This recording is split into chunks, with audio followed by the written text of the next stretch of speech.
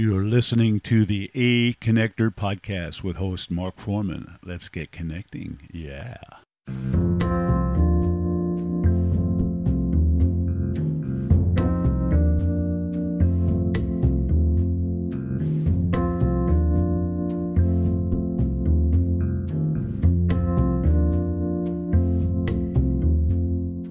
I want to welcome our guest today, Mr. Eric Mencher. Eric, how are you doing today?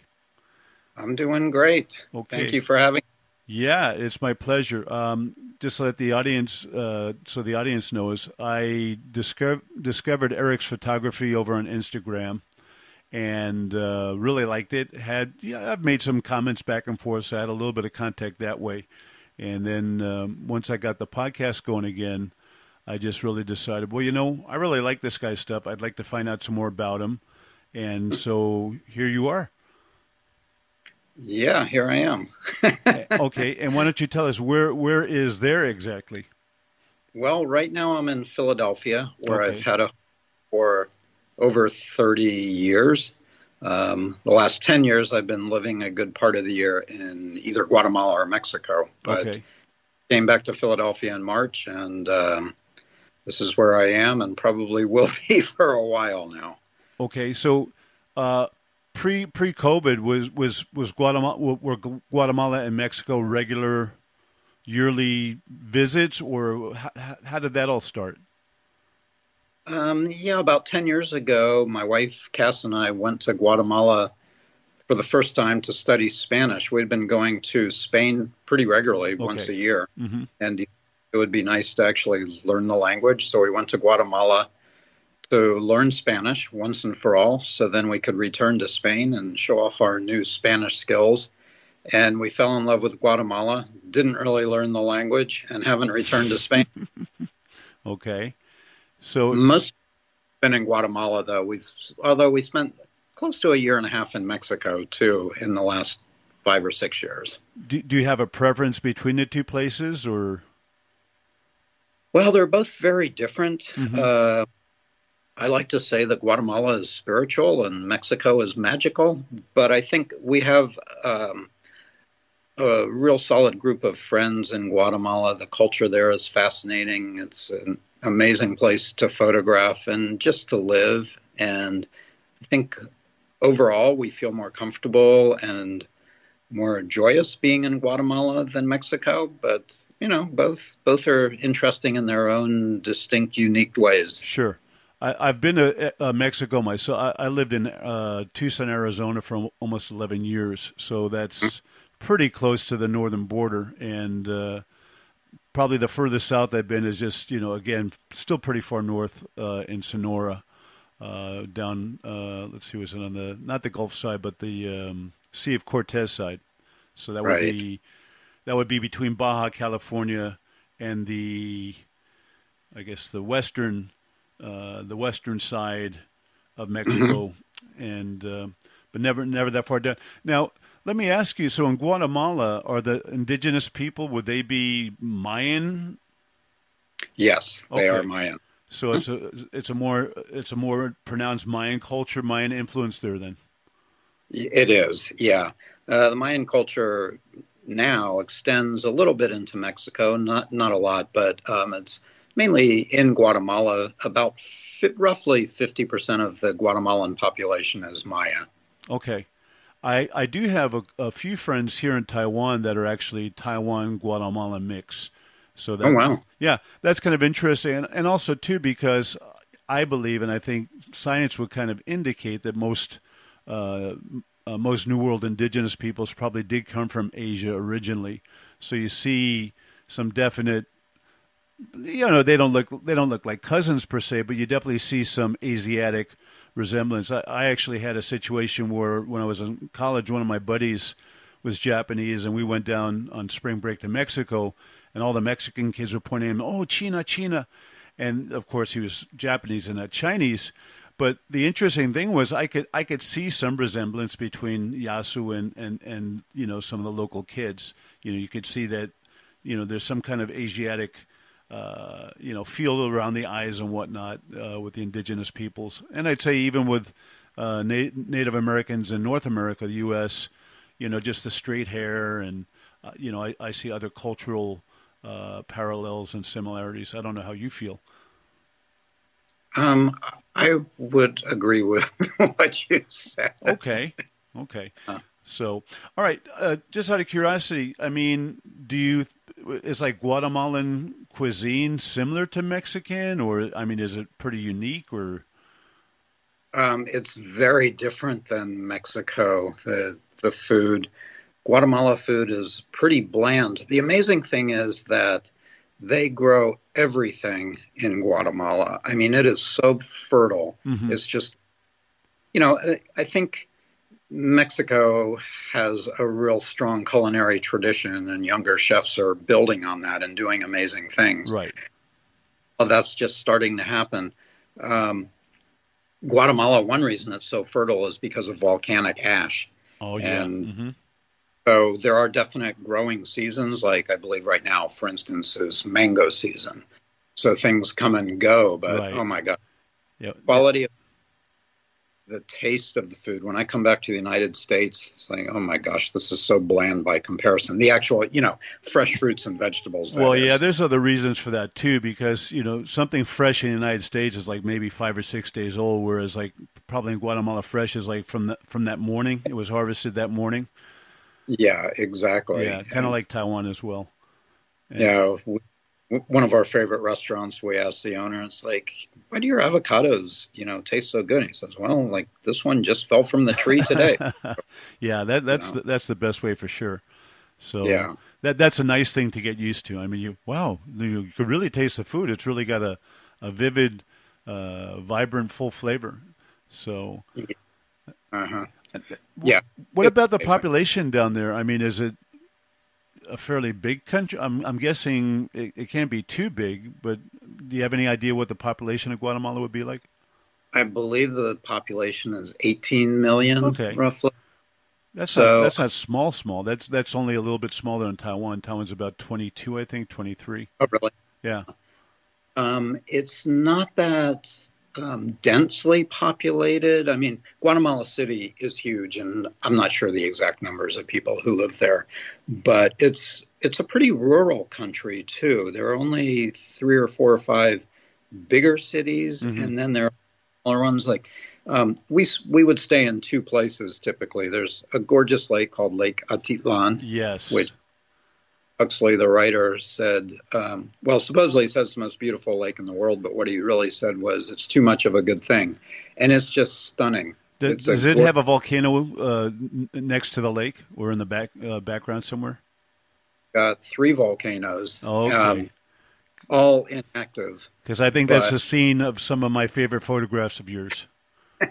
it's hard to stay away from it. Yeah, isn't it?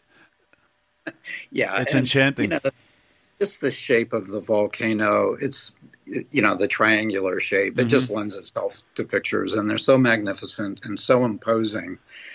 Um, and then Antigua, where we also have spent a lot of time, is an old colonial town. Mm-hmm. It was the second capital of Guatemala. I see. Until um, until an earthquake destroyed it and a volcano eruption destroyed it, but um, it's got about 30,000 people. Okay also surrounded by three volcanoes. So it's great. Both places have wonderful weather. The Mayan people are kind and gracious and reserved, but um, colorful in a way that they their dress. Um, they have a lot of them still wear traditional dress that's right. beautiful textures and patterns, and they just have a really nice manner about them. Mm-hmm.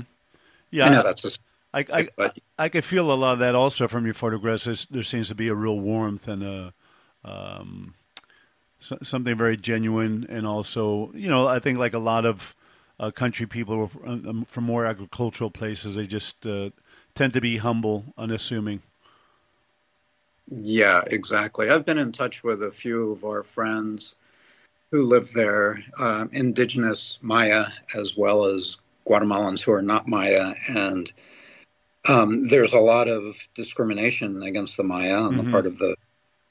Um, nonetheless, in my relationships with both groups of people, Um, you know, they they really tend to live in the moment. I mean, the younger generation obviously has been exposed to much more because sure. of the internet technology.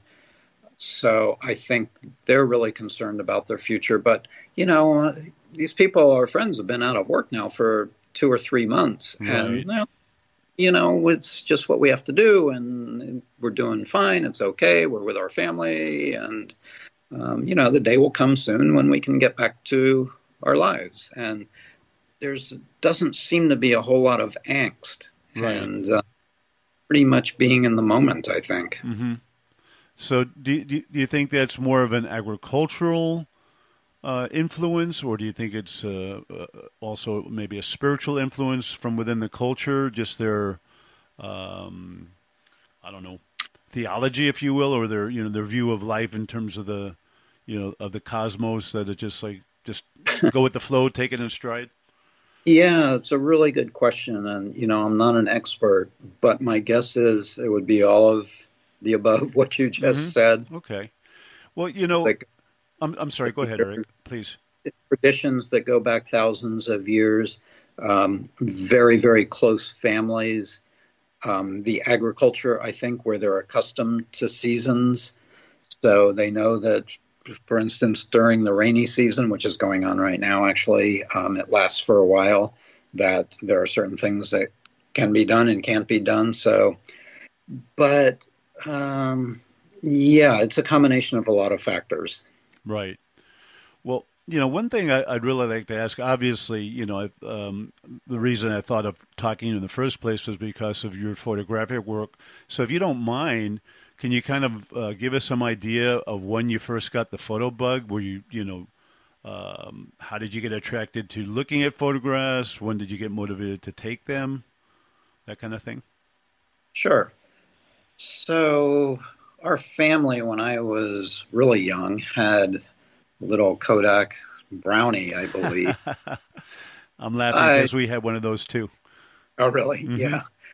And, you know, I would take a few pictures with it, and mine always seemed to be fuzzy and not well composed, particularly. And so I never gave photography much thought.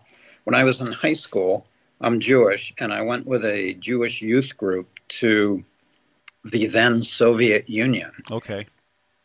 I had an aunt who bought me a Kodak Instamatic. And the Instamatic, this one was a little more sophisticated than the typical model, and you could do a long shutter speed by holding down the shutter release button on it. Okay. So when I came back, it, it wasn't as though I was taking photography seriously, but other people on my trip, we were a group of teenagers, um, had some pretty nice cameras. I remember one had a Nikon. And at any rate, when I came back and developed the film, people really responded to the pictures I had taken. And it's like, wow, this is, uh, that was kind of fun and maybe I should pursue it. And so I went out and bought my first decent camera was a Petri. I don't know if it's pronounced Petri or Petri, and a 35 millimeter film camera. I set up a dark room and uh, I was living at my mother's house at the time. Set up a dark room in the laundry room, and it was like instant love. I mean, mm-hmm. the dark room when you see that first print coming up out of the developer, it's like magic, it's, isn't it? Yeah, yeah, and I was hooked. So, how long ago would you would you guesstimate that that was? So that would have been 1973. Okay. So were you like a teenager then, or? Yeah, exactly. Um, let's see. So yeah, I was 17. Okay. Uh huh. Yeah. And then I started to do photography pretty regularly. I bought a better camera, Canon, and went off to college and started working on the college newspaper. I was really, really lucky. Um, the university I went to, University of South Florida in Tampa, Florida, okay. had a daily daily college newspaper, and I became a staff photographer and later the photo editor. So I was basically out there photographing every day for a daily paper, which taught me deadlines, um, how to print in the darkroom on on deadline, and caption writing, getting information, all of those things that going go into being a photojournalist. Mm-hmm. So I got pretty good foundation in college, and it was pretty important. I see.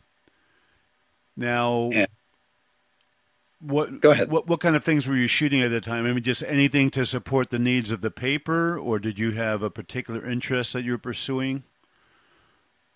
Um, it was a little bit of both. I guess since I took up photography pretty seriously, which was right around that time, I've always enjoyed photographing basically everything. Mm-hmm. I love um, that Garry Winogrand quote. yeah. I photograph to see what things look like photographed. And, you know, for me is a little bit of the same and taking a little further. It's like whatever I thought would make an interesting photograph. And so maybe it would be a portrait, maybe it would be a landscape, maybe it would be a still life, um, maybe it would be a basketball game or, you know, a football game. So I loved photographing everything. Um, I did gravitate towards sports because I had always been a real sports freak mm-hmm. and photographing sports, and I did it for a number of years, um, starting in college. So that was always exciting, you know, front row seat, basically sitting under the basket at a basketball game or um, on the sidelines at a football game and uh, it was I was also my first job out of college was I was hired as a staff photographer at the Tampa Tribune in Tampa, Florida. Mm-hmm. My first assignment was actually to photograph my graduation from college, and so oh. um, instead of attending, I was there photographing it. My first assignment, but it was also the infancy of sports taking off in Tampa professionally. There was a soccer team called the Tampa Bay Rowdies, which was in the North American Soccer League. And um, their first years of their pro football team, the Tampa Bay Buccaneers. And so I was lucky to photograph, also photograph that. Also, college football is really big in Florida. So I was covering sure. University. Oh, yeah. University what, of Miami. Wasn't there also like a pro hockey team there, the Lightning or something? Um, the Lightning is there now. They weren't there at the time. Oh, okay. There was a pro team, but um, soccer was really big. Soccer, sure. Thirty to forty thousand people a game. Okay. Uh, that was when the Cosmos of New York had Pele and Beckenbauer. Oh, yeah. Sure. It was it was a pretty exciting time. I had never photographed um, soccer before, but it was great, and I really loved photographing football and uh, baseball. There was spring training there, so there were lots of opportunities. But I also enjoyed photographing other things from news to uh, food, all kinds of things. It's one of the great things about working for a newspaper is the variety. Okay, I'm I'm curious. I mean, were you early, in the early early period, like around this time you're talking about now? Were you more focused on the technical aspect of capturing the photos? or uh, and or just kind of because your style to me is is kind of impressionistic, which I really like. I mean, so it's kind of like you know, yeah, I know I'm seeing what what I'm seeing, but there's something that drove you to capture that and compose it that way, and then also taking it another another step further. There's also something that drove you in your processing to highlight what it is you felt and you saw, and ultimately what you want us to see. Yeah, I mean, that's a really good question. And I think that um, the graphic foundation or the visual construction construction of an image has always been really important to me. Mm-hmm. I'm interested in shape, line, how light defines um, shapes and line. Um, you know, obviously, composition, all of those things are extraordinarily important to my pictures always have been. As a journalist, you throw in all these other things that are important to being a, a journalist who tells stories in a profound way, or at least a meaningful way. And that means sort of, you know, the moment, um, which can mean gesture, facial expression, interaction, all of those things. So my foundation is basically a combination of those two things. I think mm-hmm. you know the strong visual aesthetic combined with moment. Um, as far as like being a little more technical about it, um, a lot of the things that I do now, now that I'm not in the journalism world anymore, um, those things are taboo in the world of journalism. I couldn't possibly right. do these anymore. And you know, we shot black and white, but also um, I worked at the St. Petersburg Times, one of the top newspapers in Florida at the time, and we shot all transparency color slide film. So, you know, you've got it really teaches you the technical end of things as far as making the proper exposure because you can't overexpose, you can't underexpose slide film. Mm-hmm. It's not going to be usable. Right. So, and I, like I said before too, I was taught to print on deadline. So that teaches you pretty much to try and get it right in the darkroom in a matter of seconds or sure. minutes. Sure. Uh, but also, no manipulation really was allowed. Maybe some dodging, burning, darkening edges, adding some contrast. Um, photojournalists typically like to print more contrasty than, say, their counterparts in the art world. Right. You know, photographers, I don't. Well, Ansel Adams is an exception, but people like Robert Adams, maybe. Um, you know, their work tends to be a little bit on the by a journal photojournalistic standard um, a little flatter, a little less contrasty. Right. So right more contrasty. I think that's really carried over to my work now. Oh, um, oh, definitely. But I think that underlying foundation of a strong aesthetic um, now is what drives my work. Okay, one of the, one of the things I was really surprised, well, intrigued by, because you know, in, initially, you know, I just I'm I'm a funny guy. I mean, I have not studied a lot of, uh, deliberately studied a lot of photographers per se. Garry Winogrand is probably one of the ones I definitely have.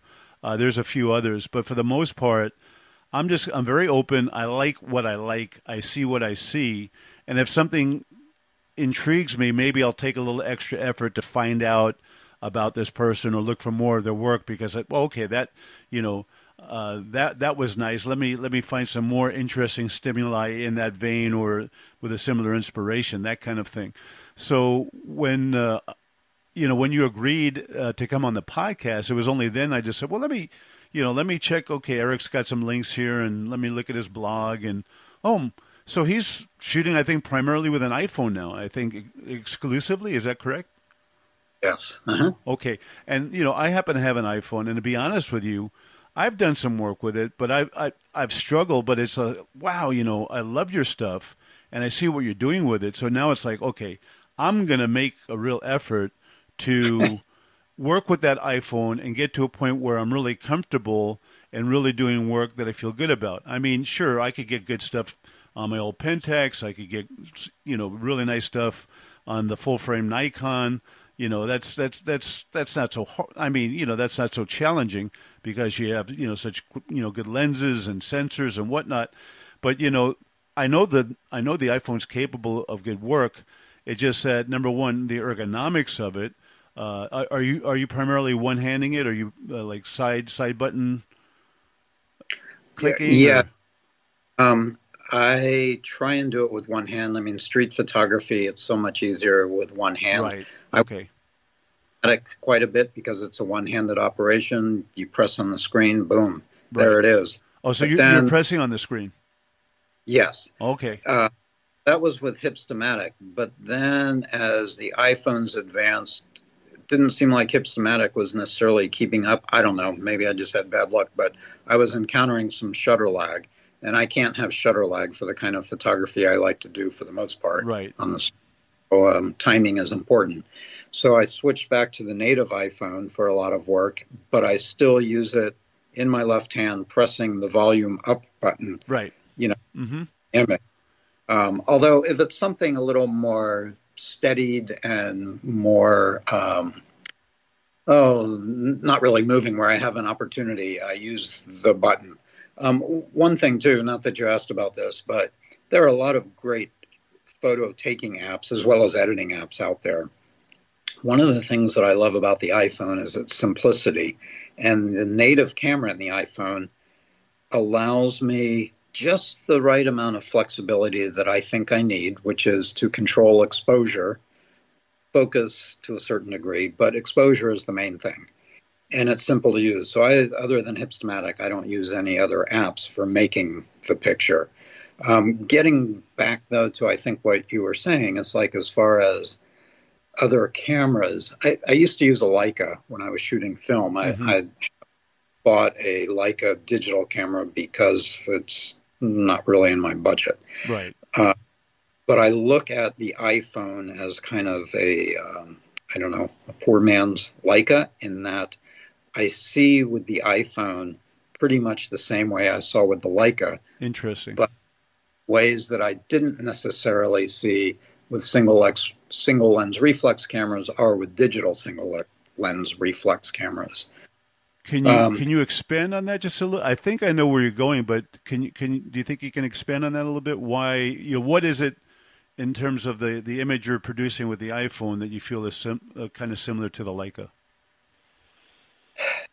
I, I think for whatever reason, it's a more intuitive response. And what happens is with a Leica or with the iPhone, I'm seeing the image, you know, in my mind, in my eye, in my heart, in my mind, all of those three places. Mm-hmm. At the, and the camera is merely an extension of that. Right. The SLR or the SLR doesn't operate the same way. It's mm-hmm. got to be up got to be up to your eye, pretty much. Um, I know it's a little different now with with um, digital cameras where there's a screen, right. but nonetheless, it was also the simplicity of the Leica. Um, I never, I, I, always used an M6, which was, um, you know, you set the shutter speed, you set the aperture, and the lenses on the Leica, like the 35 millimeter lens that I liked, had a little I don't know what it's called, a thing on the lens where when you knew when it was in a certain position, it was focused at, say, seven feet. So it was this totally intuitive process. And the iPhone is the same thing. It's just a mere extension of, of what I'm seeing. And mm-hmm. I raise it up, and the image is there. Single lens reflex, you've got to bring it up to your eye. And then typically you're fumbling around trying to get the right exposure and, you know, the focus and all of that stuff too. Right. So I, I know that's going to sound like a, a lame sort of explanation to people who totally love their single lens reflex cameras, but I just find it analogous to the way I used and the way I saw with the Leica using the iPhone. That, that's it's, fine. I mean, it's intuitive, it's fast, the quality sucks. well, you know, this is the thing. I mean, because you know, I, I could tell just from your work that you're not a gearhead, and I'm not a gearhead, and a lot of people are. And I mean, that's fine. I mean, everyone has their thing, but but the the thing that I see, you know, with people that are really really in touch with their craft, you know, it's it's just like the tool becomes an extension of them, and they're not they're not cut up on the tool. It's just like this is my tool. I'm comfortable with it. It's an extension of my hand. It's an extension of my mind, even. And so it's like you know we're in sync, and I just use it and and and you know I don't get obsessed about it. I don't I don't hold it in like oh you know you're such a wonderful tool. Let me buy you a cup of coffee or you know take you on a date. It's just like you know we're partners. You know we have this you have this unique bond and relationship and it works and just keep going forward with it. Yeah, you're exactly right. I mean they're all tools and they do different things. And one thing that I've tried to do well when I had the Leica and now with the iPhone is I try and take advantage of what it is and not necessarily try and make it into something that it's not or can never be because mm-hmm. that would I mean it's one thing I've always operated simply even when I was using you know like the high-end Canons the um, both film and digital they're beautiful cameras. I mean, Canon, Nikon, Sony, Fuji, they all make incredible cameras. I mean, sure. these things find how how wonderful they are. But I always tried to keep it simple. I preferred um, prime lenses to zoom lenses. Now there were times when zoom lenses were more appropriate, and I had them in my bag. But right. I always preferred like a 35 and an 85 operate or a 24 sometimes. Yeah. Because to me it just simplified life and sure. in most cases, I could take a step forward or a step back or a Foot step zoom. to the right, which is what photographers maybe should think about doing anyway. Right. But with and all of the things that the camera can do for you, we get really lazy. Mm-hmm. And it's interesting because to me, um, this makes things so much more simpler, but it also it gives me so much more flexibility. Right. But I also there are pictures I can't make. I mean, I can't really do wildlife picture with an iPhone sure. unless I have attachment, you know. Um, but typically, that's not the kind of picture I'm making anyway. Right, right. Yeah, I mean, with with me, I mean, I'm primarily a street photographer, but of course, I love I love photography. So it's not going to be, oh, I'm out here in the wilderness, but there's not a person around, so I can't shoot anything. No, um, but ultimately, because I do live in an urban environment, and mm. um, I'm, you know, I'm just very attracted to the human because it always gives everything such context, um, and I think that's one of the reasons I love you know, shooting street photography because you know I love shooting people, and I just prefer candid to posed. I mean, not that there's not beautiful posed and, and portrait shots. Uh, it's just that to me, there's something magical about uh, a stolen moment of something real. Um, and I'm not looking to be a voyeur and kind of like, oh, you know, that you know, I found two people doing something that's usually behind closed doors and people don't see. Not that kind of thing at all, but just you know something innocent, something pure, an expression, uh, combination of expression and clothing, maybe you know the the the, the silhouette, the um, you know the angle, the lighting, you know all all of those things. So with the with the the thing I love about the the challenge, and I've been inspired and and kind of indirectly challenged by you because I have the phone on me, I've shot with it, but now it's like okay, if this guy is like you know basically uh, committed himself to only using that, and it's on me all the time. And there's a lot of times now where I'm going out in the morning to exercise, and I only bring the iPhone. and It's tucked away, and then you know after I finish uh, doing my routine, I get on my bike and usually come home. But uh, this last few days, I went to a big market nearby. Like really, really early when the vendors are still setting up, and I broke out the iPhone. I'm like, okay, I want to, I want to keep doing it until I get comfortable with this thing, and I'm feeling, you know, I'm making the connection. It's not, it, you know, until it, I just want to keep doing it until it becomes intuitive to where I don't have to think about it so much. And you know, so I, I could see myself getting there more and more. Now, now once I do the image capturing, of course, now the other key factor is I've got to process it in a way to where it looks acceptable to me. I realize no, it's not. It's not the DSLR, and it's not those you know those kind of prime lenses, that's okay. But I need to you know learn how to process these images, adjust the contrast, etc., etc. And I think I'm getting there. In the last cup, the last round, I think I found I'm uh, I'm finding the right mix. You know, at first I was just loading them directly into the uh, computer and and then uh, processing them on Photoshop. And now this last batch, I processed them in the phone. Uh, I think on Snapseed. I think that's yes. Yeah, and I processed process processed them there, uploaded them, and then I found you know the contrast. I still needed to give it a little bump, so I did that in um, uh, Photoshop with uh, I, I, I, oh uh, it's not Silver Efex. Uh, I think Color Efex. one of the or Viveza, yeah, uh, one of the uh, Color Efex series of apps, and I'm like, whoa, I'm really I could see it it's actually coming out in a way that I can really be happy with it.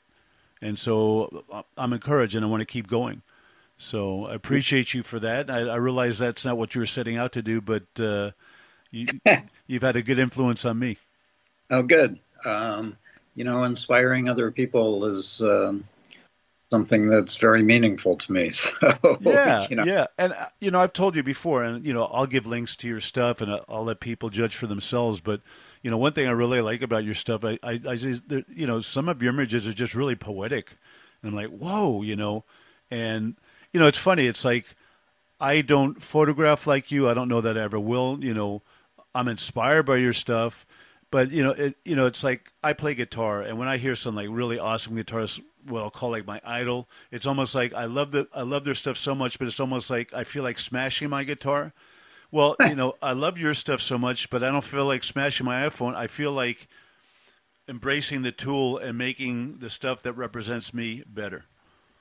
Yeah, uh, I mean that's the best approach. I think is everybody sees differently what's going to appeal to you both visually as well as to your heart. You know, uh, kind of message you want to get across, of any. And you know, photography doesn't have to have a message. If it does, it's it's great.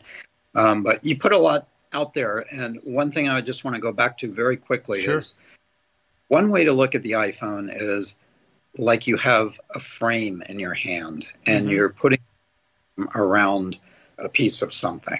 I mean, that's kind of what I'm getting at that I how I saw with the Leica and okay. how I like a frame. But the, the, po- the editing is so so important too, and by editing I mean the selection of the pictures. And I don't personally see anything wrong with with taking a lot of uh, images. There's nothing wrong with that at all. Storage is cheap. Why not do it? This is the technology. Take advantage of it.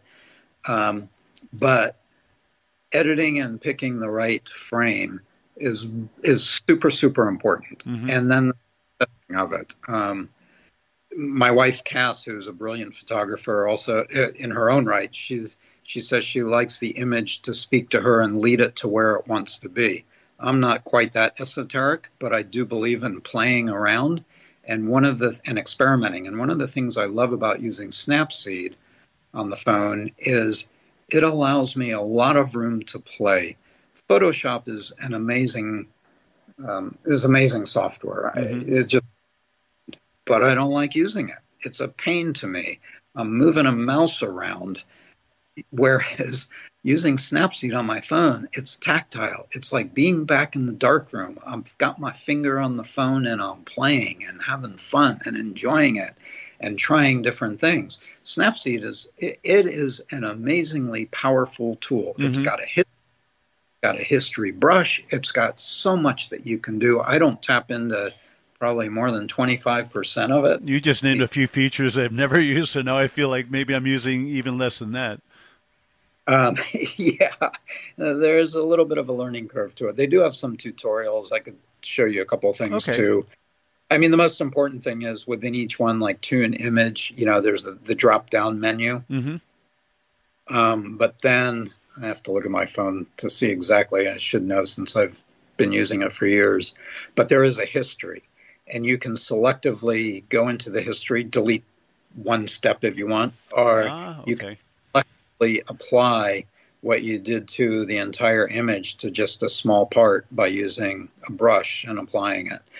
And you know, my point is twofold. Number one, that it's it's um, a powerful tool, and number two, for me, it's really fun to use. It's it's like I said, tactile. You're yeah. active involved in making it be what you want it to be, taking it to where you feel you can take it.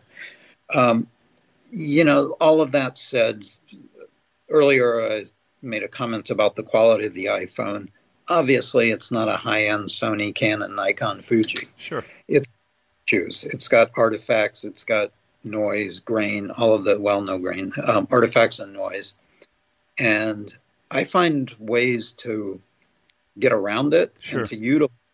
One of those things that I do, particularly in black and white, is in Snapseed, I'll apply if I'm going to make a print. I don't typically do this if I'm just posting it on Instagram, but if I'm going to make a, I'll put a little bit of a grain using Snapseed, put the grain on the image, and the grain is much more pleasing to look at than artifacts and noise. Right. And then sharpen the grain, and it looks like a print that I made 35 years ago in the darkroom. It's got that same kind of quality and it's a it's a visually pleasing quality too. It's not you know like oh my god look at that ugly noise. Right. It's like that grain looks super cool. You you also add a bit of texture to your images um, as well. Is that correct? Yeah, it depends on the image. Sure. I mean, I there are a couple of hipstamatic um, filter combinations that I like that put uh, texture on. I used to use textures more. Now it's more a matter of I'm well. First of all, in in both Mexico and Guatemala, there's a lot of texture in the backgrounds, the walls. Right. Mainly, I don't necessarily find that so much, like at least here in Philadelphia.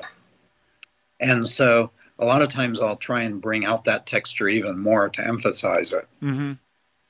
So typically I'll use in Snapseed. Um, it's called structure, which it's kind yeah. of adding and sharpening at the same time. Sure. And then I'll too. Um, I also will use other tools like selectively, like Glamour Glow, which you know has this horrible sounding name. Yeah. But also adds contrast and can add a softness depending on the image. Mm-hmm. So too much texture, too much detail, it can sort of smooth it over in a very pleasing way. Right. Right. Yeah, it's meant that that particular effect is meant to uh, you know for portrait work to just kind of yeah you yeah. know just bring it all together in a, in a in a pleasant way. You know, it's more forgiving. It is absolutely yeah. Well, that's great. I mean, um, this, this is really good to good to know because, like I said, it's it's something that's always been in the back of my mind. I mean, sure, you know, I love I love the Nikon, but to to be honest with you, you know, schlep it around. Um, you know, when you when you purpose to do that, okay, you're prepared for it. Uh, yeah, I tend to uh, not want to, you know, bring the zooms with it. Certainly not the uh, the one that goes to 300 because that's a bit of weight. Uh, you know, it's more comfortable with the 35, and I like that. I like that focal length anyway. But you know, the iPhone is always there, and it's like, okay, you know, exactly. why not utilize it? Why not, you know, I mean, let's put it, you know, uh, in simple terms. You know, I want to master it. You know, for the simple reason that I am a photographer. It is capable of doing good photographs. It's just you have to work with it, and uh, you know, you, have to make friends with it, and it'll make friends with you, like any like any tool. Yeah, I I totally agree with that. It's um, I mean, ultimately, it is a tool, but why not try and learn that tool the best you can and use it, you know, to your advantage? You know, I carried around big, heavy cameras for years, and they're, like I said before, they're great, but you know, my body just can't take that anymore, right. and is it's always there, it's always in my pocket. I, I would also say, no matter which camera you're carrying around, whether it's an iPhone or, you know, a, a, a great Nikon. Um, to me, one of the foundations, the keys, is to pay attention. And so, if what interests you is making interesting photographs, strong photographs, compelling photographs, it's really a matter of paying attention no matter what you're doing and where you are. Um, it can become a bit obsessive, but nonetheless, um, you know, like a lot of my pictures are done just in the course of my daily life. Uh, my wife and I walk everywhere. We don't have a car, and we live in places where you know we never want to have a car or need a car, mm-hmm. and so everywhere. And most pictures are made while we're walking, right? You know, but it's a matter of truly paying attention and not being. Uh, I, I, mean, and, and, that doesn't mean that I'm always thinking in terms of making a picture, but when I see something maybe further up the street or to my right or left looking around or an interesting looking person. You have to be going slow. Yeah, yeah. And you're prepared also, you know. Um, you have to have your equipment ready to go so mm-hmm. you can about the iPhone. It's in my hand. Very rarely is it in my pocket when I'm walking. It's right. in my hand. And boom, you know, I raise it up and and there's the image there, there's another element to that too, especially for street, because like I have a friend um, that uses like uh, was it the Ricoh GR two or the yeah. GR three, and those are nice little cameras by all means. The only thing is, it's still a camera, and when you're doing street photography and, and you want something candid, I mean, gr- granted, it's not going to attract the same attention that a big honking Nikon or camera, you know, with a with a big lens on it will, but it's still a camera form. Now, with a phone, phones are so ubiquitous now that if you've got your phone out in your hand, even when you're getting pretty close to someone, they're not necessarily distracted by it and they're not threatened by it because, well, you know, everyone has phones and there's a guy with a phone, so whatever. You know, it's happening at a subconscious level, so you, you get much uh, higher percentage of uh, people remaining in the moment, remaining in, in, in their little world, and you're not, not you know pulling them pulling them out of it by accident. Yeah, I, I think you're right. Um, I think people are becoming more wary of the phone because they equate that to something that's going to be online very quickly. Mm-hmm. But still, it does not arouse, you know, the attention, the suspicion of of a bigger camera, and like you said, even a small little thing like the Ricoh. Um, you know, the iPhone is less imposing. It's right. less yeah, people are not going to get. I, I also, when I'm out, you know, walking around, I typically look a bit like a goofball. I mean, I've got a hat on, a tourist, or you know, particularly in Guatemala, I'm clearly a tourist. Right. And you know, it's it's less of a threat, I guess, than if you're wearing a you know a photo vest and you've got two cameras and you've got a big zoom lens sticking out of one of the vest pockets. Right. right. Yeah. How how do you feel about um, the the the iPhone performance at night? Do you do much shooting well, at night? Well, it's pretty interesting. You know, this this latest iOS um, has the night mode, mm-hmm. and I experimented with it, um, and I really like some of the results. It does some pretty interesting things. How it chooses to put all these different kind of frames together. It's not just making a long exposure. I mean that it, it leads you to believe it's like making a three second exposure. It's not that at all. It's actually stitching together um, from the tests I've done anyway, stitching together various images, but there's one common image. So you're talking so, about the live you're talking about the live mode, right? Uh, not the live mode, the night mode. Okay. So um, like I have the 11 Pro Max, which is the most recent version. Right. Don't know if any of the other models, like if you have a 10 or even just the regular 11, whether the night night mode works on those. I'm not sure. I thought it was the latest iOS operating system, but maybe not. But at any rate, under extraordinarily low light, um, it puts together something remarkable. Hmm. I, am boy, I was using it quite a bit when we were in Guatemala, um, shooting at night because the light there at night is really fascinating. They have these, uh, I don't know how to explain it, but the kind of light, typically street lights go sort of green.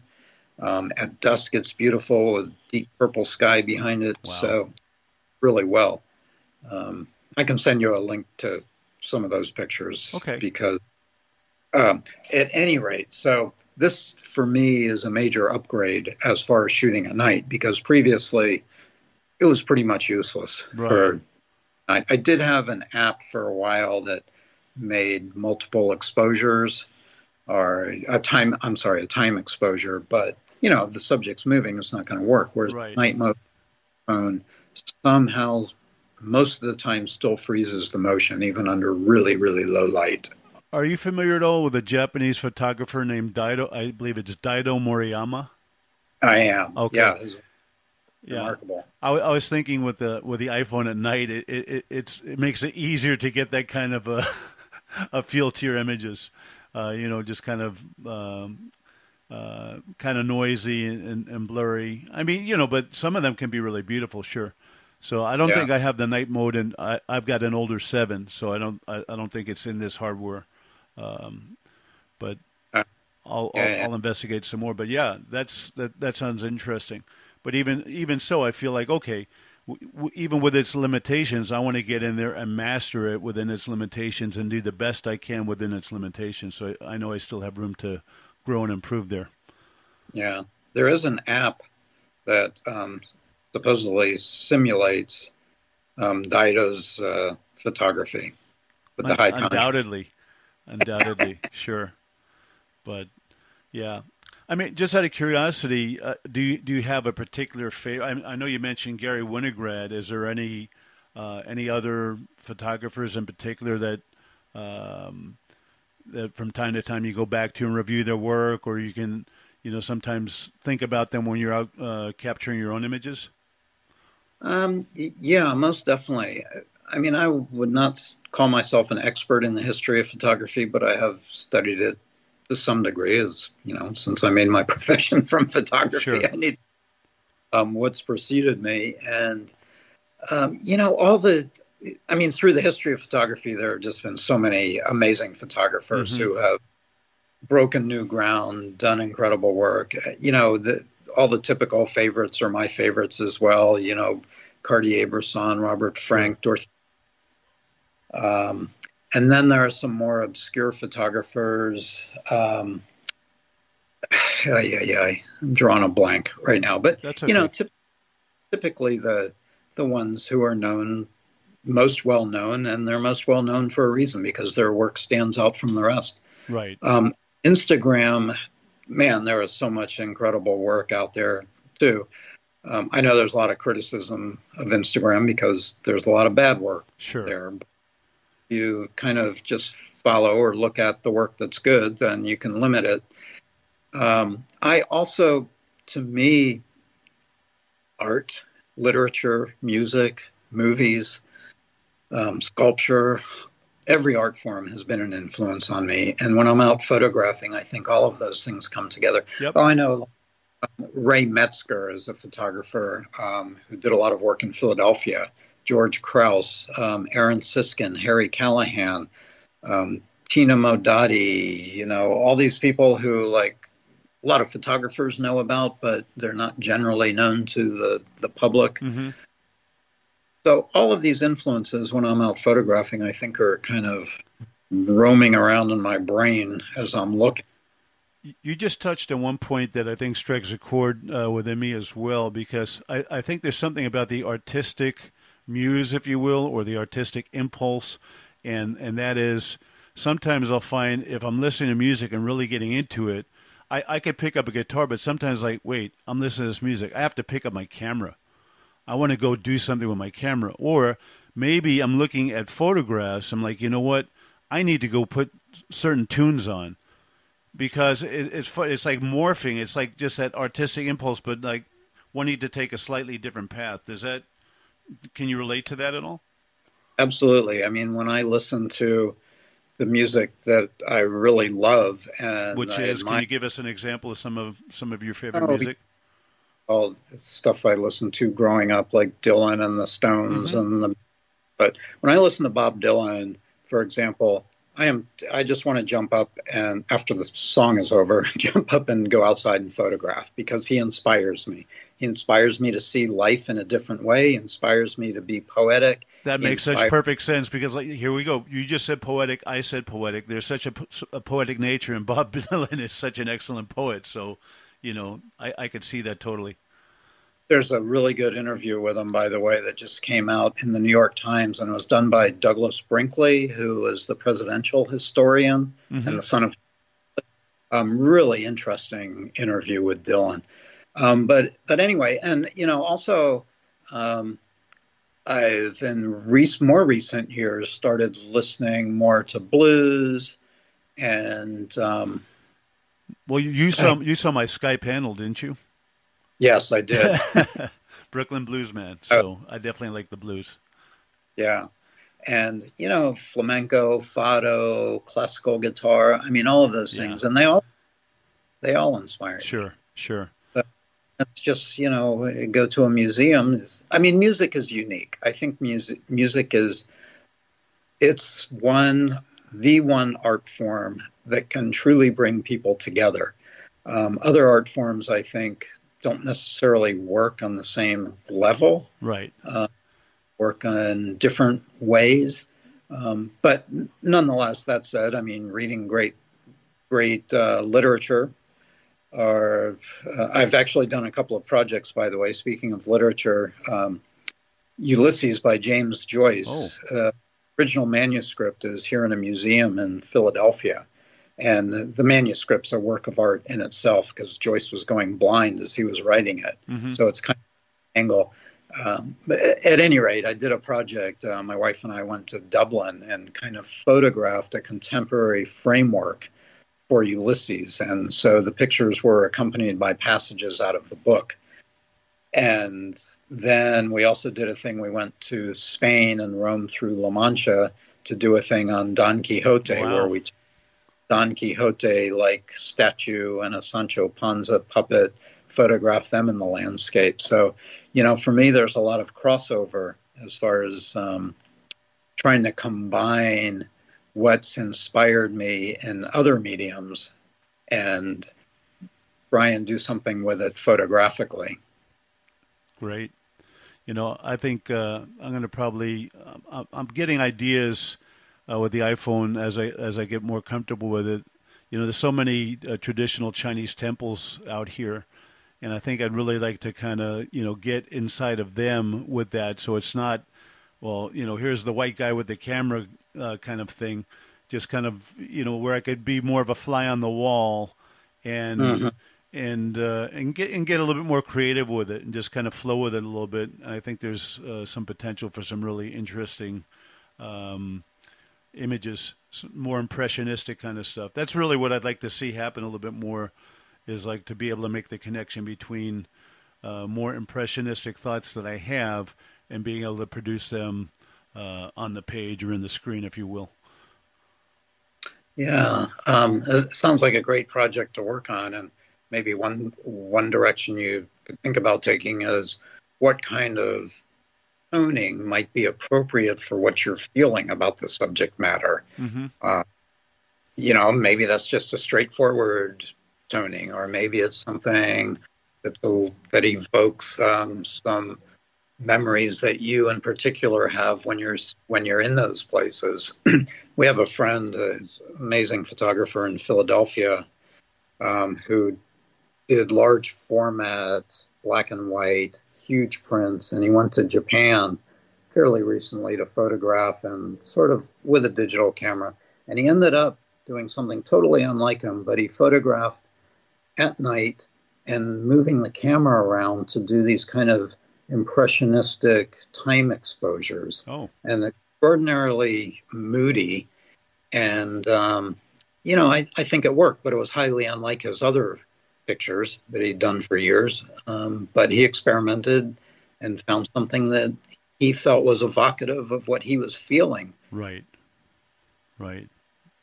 Well, you know, it, it, has been such a pleasure talking to you. Um, you know, so much uh, good information you shared, and uh, I'm really glad I will have the opportunity to share some of your information uh, with the with the people, and I'll certainly give you a link and by all means share it with uh, some of your followers and let them find out a little bit more about the man behind the camera and some of the thoughts and impressions and uh, that go into uh, producing uh, producing that art. So I just really want to thank you for coming on, um, and uh, I'll let you know when the show is up and and uh, out there. So. Yeah, okay. it's it's been great having you on A Connector. Uh, I never did mention that actually. I, I know you're from Philly. well, you could probably guess I'm from Brooklyn. Uh, I was in, I think the first time I was in Philly, I went with my mother and a friend to go um, hear some jazz, some Latin jazz, as it, as it were. I think it was uh, Afro-Cuban jazz. Uh, I forget the club, but it was a, a guy named Mongo Santamaria. I don't know if you ever heard of him. No. Yeah. Great name. Yeah, great name. Yeah, he's uh, he was uh, quite a timbali player. But anyway, well, Eric, thank thank you so much. Yeah. And uh, we'll be in touch. Thank you so much for having me uh, and for asking such provocative uh, questions. Um, really appreciate it. Makes it uh, makes me really think about what I want to say and have to say about photography. Well, that's so great. Thank you. That's great. You're quite welcome.